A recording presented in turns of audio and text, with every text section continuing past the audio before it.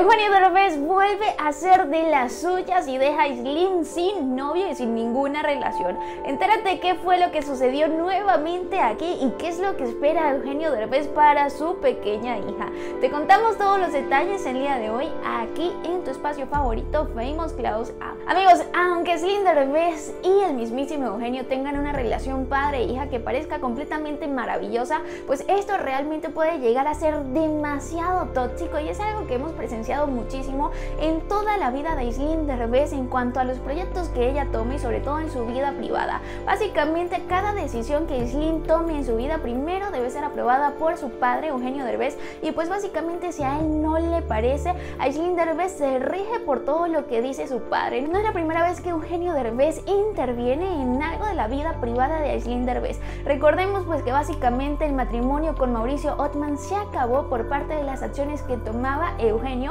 en contra de su yerno, al punto que lo obligaba a rechazar propuestas de trabajo simplemente porque a Derbez no le parecía que esto fuera lo indicado, ni mucho menos le parecía un papel digno para su yerno, así que simplemente le decía que lo rechazara o simplemente él se molestaba con Mauricio Ottman. No fue únicamente la parte del trabajo que interfirió en la relación con el suegro y la relación con la mismísima Aileen Derbez, sino que a su vez se sumó todos los tratos completamente denigrantes que le daba Eugenio Derbez a Mauricio Ottman y fue algo que tú y yo pudimos presenciar en De Viaje con los Derbez cuando lo trataban básicamente como un sirviente. Llegó un punto que Mauricio Ottman no aguantó más y simplemente le puso punto y final a esta historia y sobre todo a la familia Derbez. Sin embargo, amigos, a pesar de que Aislinn Derbez atravesó unos momentos muy duros a nivel emocional por esta separación, pues llegó a darse una segunda oportunidad con un fotógrafo que es bastante reconocido en Canadá llamado Jess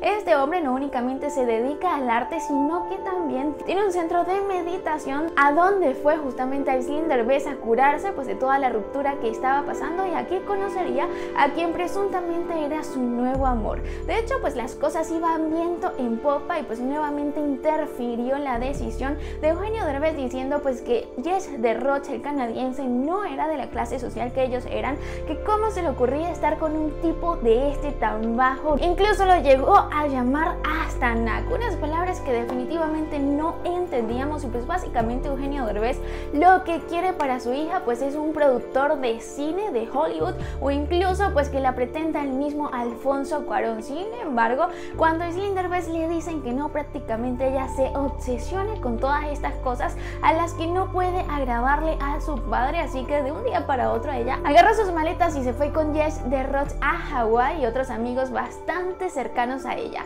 Sin embargo, en el momento cuando Jess de Roth quería avisarle al mundo entero lo enamorado que estaba de Aislinn Derbez con un mensaje completamente precioso diciéndole que le había cambiado la vida, que se sentía completamente alegre de estar con una persona como ella, pues aquí lamentablemente amigos llegó la decisión del papi Eugenio Derbez e interpuso pues un pensamiento en la cabecita de Aislinn Derbez diciéndole que ella iba a terminar viviendo en una comuna así seguía con Jess de así que Slim Derbez bateó al pobre canadiense de una comentándole en esta fotografía donde sale ella, por cierto, diciéndole pues que gracias somos solo amigos. Lo dejó en la friend zone, pues básicamente por una decisión de su padre. Amigos, me encantaría saber qué opinan ustedes acerca de todo este tema. ¿Será que Slim Derbez está perdiendo grandes oportunidades en el amor simplemente por dejarse influenciar por las opiniones de su padre? Mauricio era uno de los hombres quienes más la quería a ella, incluso ese amor se le notaba, pero simplemente no quería estar más con la familia,